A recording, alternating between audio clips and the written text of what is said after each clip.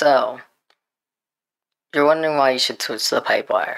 Now, on the website for Pipewire, it seeks to be a replacement for Pulse Audio, which is a replacement for ALSA. However, Pipewire also works with Jack, uh, Pulse Audio, and ALSA. So it's an all encompassing replacement and even fixes some of the weird glitches that can occur with Pulse Audio. Well, it does have its own glitches. It seems to be more like glitches of what happens when you have software that's still in development rather than software that just has glitches in it. Pipewire also design works uh, securely with Wayland and Flatpak. How do you set up Pipewire? Well, I have this virtual machine ready to show you how to install and set up Pipewire.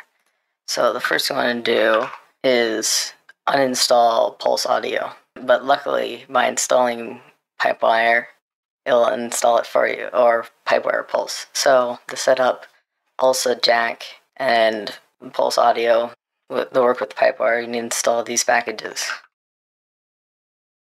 In order to set up Pipewire, you need the packages Pipewire,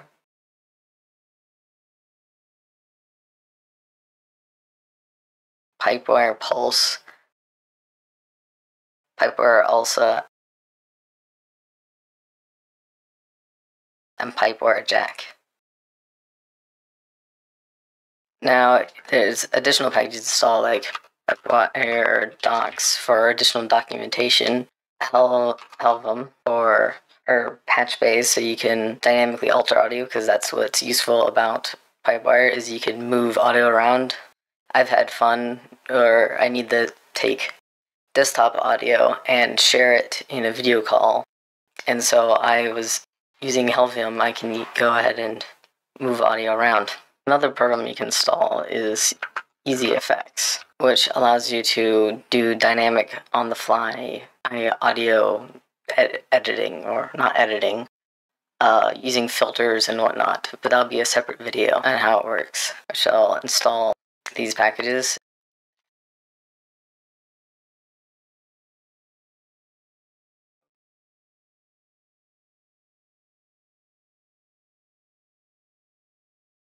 Oh, it's Pepper Docs. So as you see, when you go to install it, you'll see Piper, Pulse, and Pulsar and Conflict, and it'll ask you to remove it, and it will be yes. And Power Jack and Conflict, yes. Install. Now, there's one more program you need to install. You can go ahead and set up Pipewire. That program is called WirePlumber.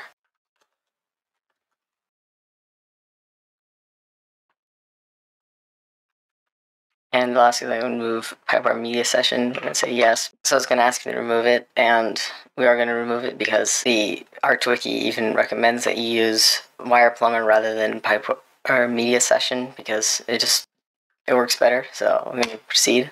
So I got that all set up. So what now? First thing we're going to do is we need to start the Pulse Audio service in Systemd if you have a Systemd. Not sure what the other init systems are, but that's what we have to do. So sudo ctl start pipe wire pulse this seems to not be working, so instead we'll just reboot, which is another way to get it working. But before we do that, we need to run the program WirePlumber. Now, how do you do that? Well, what you want to do is is modify your xinitrc. So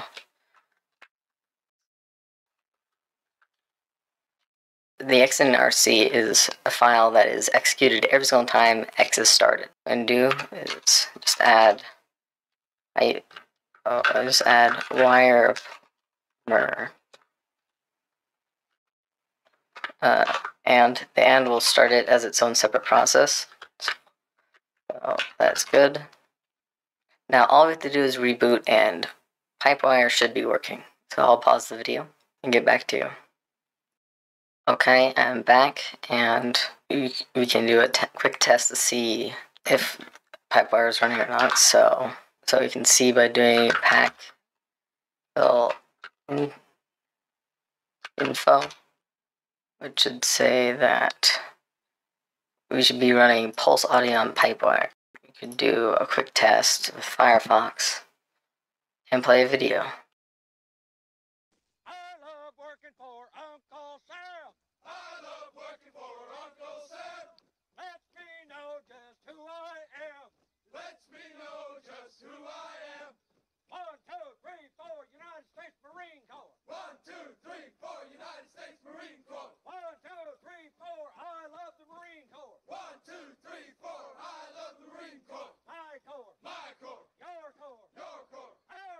See that it, it now works, and you can do all sorts of fun things. Like if I get Helvum,